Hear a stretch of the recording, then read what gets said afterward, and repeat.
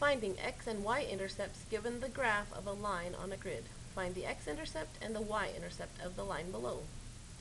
So a y-intercept is where the line crosses the y-axis. Actually, I'm going to use my highlighter. So it is right here at this point. That is a y-intercept. Because it crosses the y-axis. So that is at the point where y equals 1 and x is 0. So we actually have a point that looks like this, 0, 1.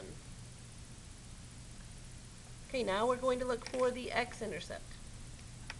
The x-intercept is where it intercepts or crosses the x-axis. So that's over here at that point. That's when x equals negative 3 and y is 0. So that looks like a point that looks like this, negative 3, 0.